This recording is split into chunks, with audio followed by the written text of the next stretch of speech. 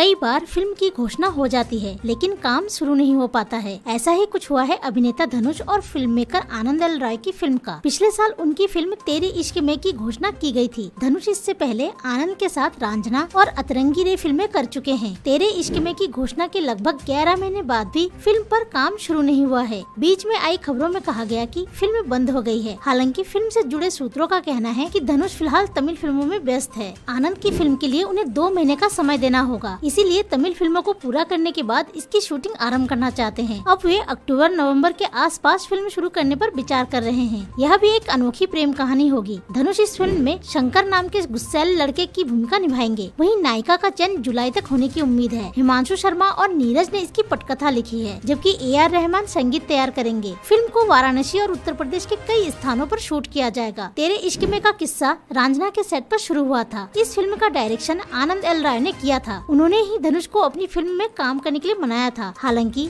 बाद में धनुष खुद ही रांझना के कुंदन से कनेक्ट कर गए थे इसके बाद उन्होंने आनंद से वादा किया था कि वो उनके साथ एक और फिल्म में काम करेंगे आपको बता दें तेरे इश्क में का ऐलान रांझना के 10 साल पूरे होने के मौके पर 21 जून 2023 में किया गया था आनंद एल रॉय और धनुष ने फिल्म की घोषणा करते हुए एक वीडियो भी रिलीज किया था शंकर के किरदार के बारे में जानकारी दी गयी थी ऐसी ही मूवी न्यूज ऐसी अपडेट रहने के लिए मूवी मसाला को सब्सक्राइब करें